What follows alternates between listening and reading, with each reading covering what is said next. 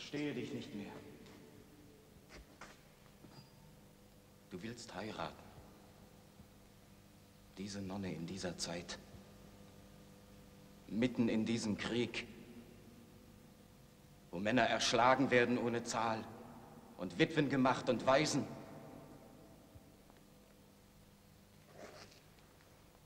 Ich weiß es. Wo dir Vielmächtige im Reich die Schuld am Aufruhr geben und die Bauern dich Verräter schelten wegen deiner strengen Schrift. Selbst unsere besten Freunde verurteilen deine Härte. Du auch, Philippus. Die Welt hasst mich. Ich kann es nicht hindern. Luther lebt lustig, wird es heißen. Wo Deutschland seinen ganzen Verstand braucht, seine ganze Kraft. Wenn du jetzt die Bohra nimmst, wirst du zum Spott der Welt. Und alle Teufel lachen drüber.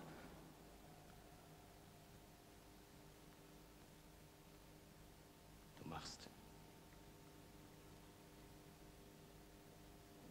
Du machst dein ganzes Werk zu Schanden.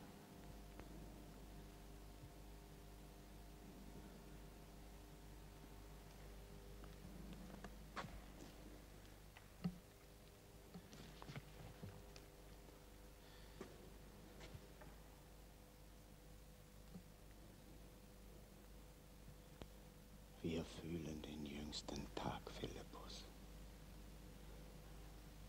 Da will Gott den Menschen antreffen in einem Leben, wie er es ihm hier auf Erden bestimmt hat.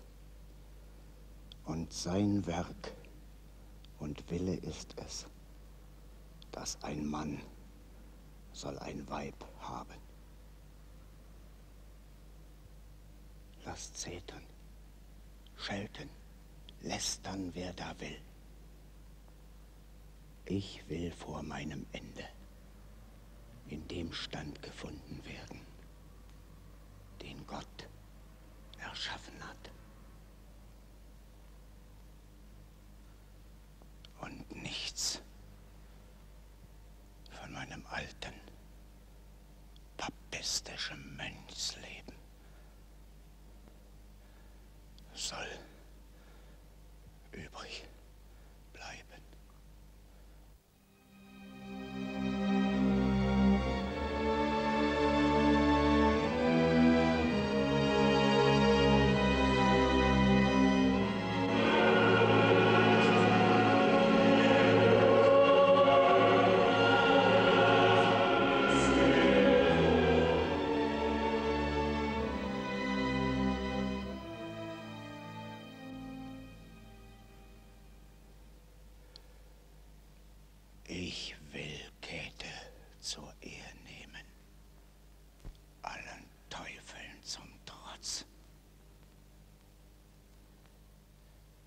Satan hasst diese Lebensweise.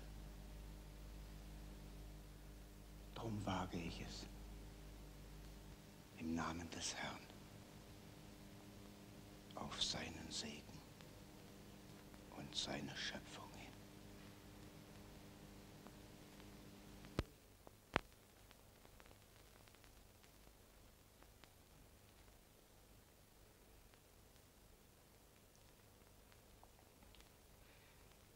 Ich bin dein. Du bist mein. Ich bin dein, du bist mein.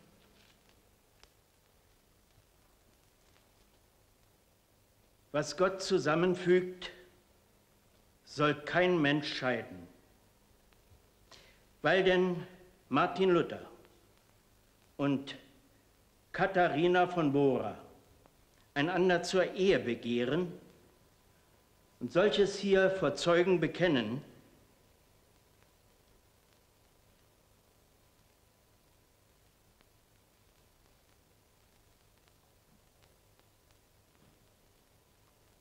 darauf sie die Hände und Trauringe einander gegeben haben, so spreche ich sie ehelich zusammen. Im Namen des Vaters, des Sohnes und des Heiligen Geistes.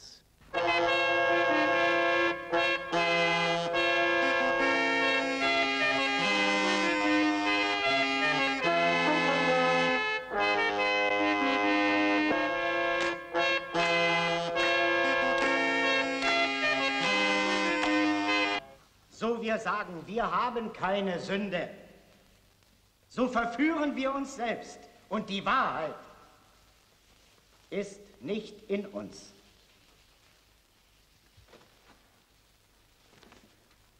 Und dies sage ich euch in dieser meiner Vorlesung über den ersten Brief des Apostels Johannes. Darin wir manches finden, was uns selbst betrifft. Uns gibt man jetzt die Schuld an allem. Uns. An allem, was Übles geschieht in der Welt.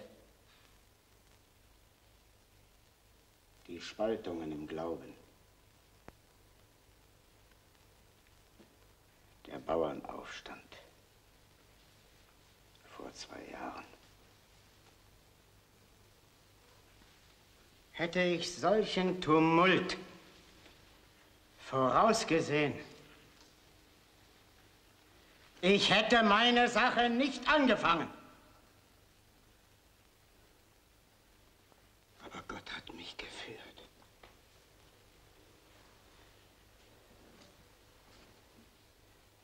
Und mir ist verborgen.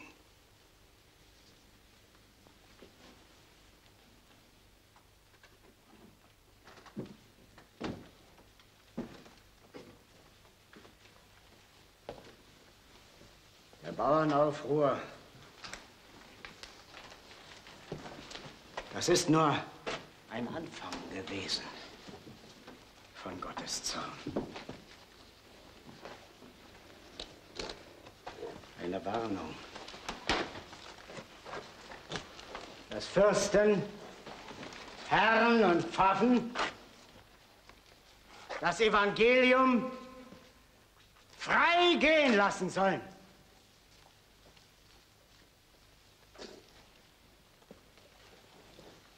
Aber sie toben dagegen und lästern es jetzt schlimmer als zuvor.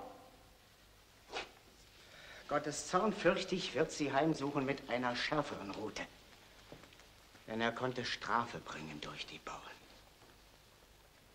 Wie könnte er da nicht plötzlich unter die großen Hansen fahren, dass sie zugrunde gehen, ehe sie es gewahr werden?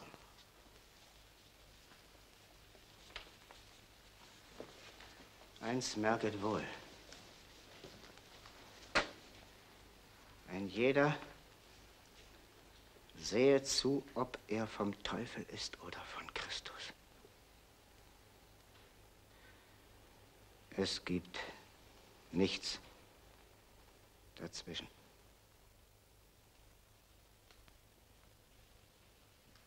Entweder wir sind unter Christus oder unter dem Teufel.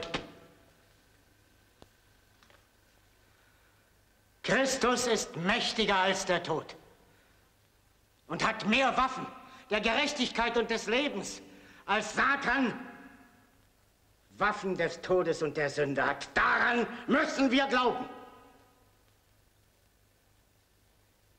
Doch Satan jagt unseren Herzen Angst ein vor dem Tode und macht uns mutlos und stellt uns Gottes Zorn vor Augen.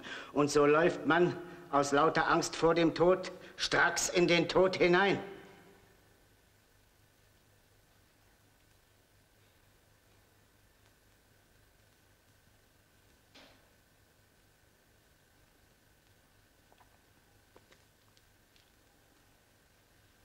Wir sind irdenes Gefäß. Aber in unserer Schwachheit haben wir einen, der tritt für uns ein vor Gott. Jesus Christus, sein Sohn.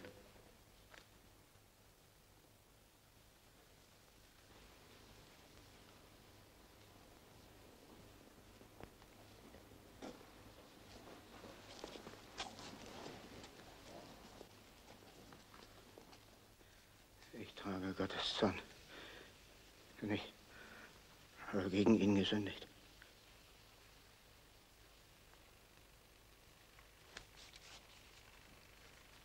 Und wenn mein Christus mich im Stich lässt, vor Gott, wenn er mir nicht barmherzig